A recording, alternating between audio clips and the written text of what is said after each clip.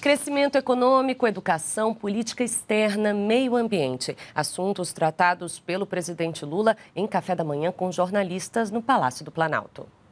O presidente começou destacando a necessidade de o país voltar a crescer com uma política responsável de taxa de juros e com a volta da oferta de crédito para a retomada de investimentos.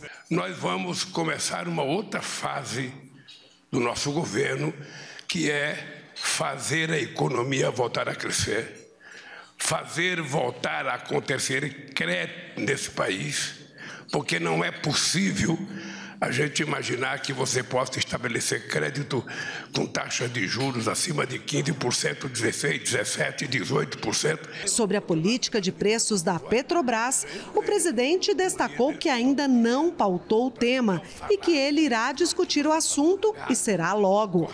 Ainda no tema economia, Lula acrescentou que a nomeação de diretores do Banco Central vai atender à necessidade de alinhamento com a política econômica do governo federal. É importante saber que nós vamos indicar as pessoas de acordo com, os interesses do governo e pessoas da mais alta responsabilidade. Sobre a suspensão do novo ensino médio, o presidente afirmou que não é uma revogação e que o objetivo é debater o assunto com a sociedade para aprimorar o tema. Nós não vamos revogar.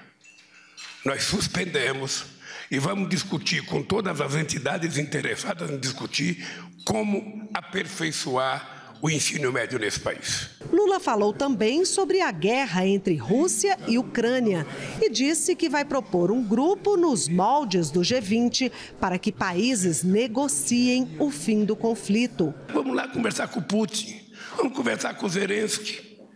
Vamos conversar com Biden, vamos tentar ver se encontramos um grupo de pessoas, sabe, que não se conformem com a guerra. Quando o assunto foi os outros poderes, o presidente Lula explicou que não tem pressa para escolher os nomes dos ministros novos do Supremo Tribunal Federal e que esses nomes precisam saber interpretar a Constituição com imparcialidade.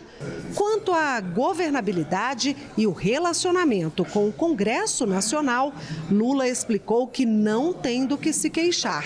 Tanto o presidente do Senado como o presidente da Câmara têm tido um comportamento de muita defesa e de muito respeito na relação com o governo. Perto do fim da conversa com jornalistas, o presidente Lula foi questionado sobre a política ambiental do governo federal. Ele garantiu que a legislação contra quem polui e desmata vai ser dura.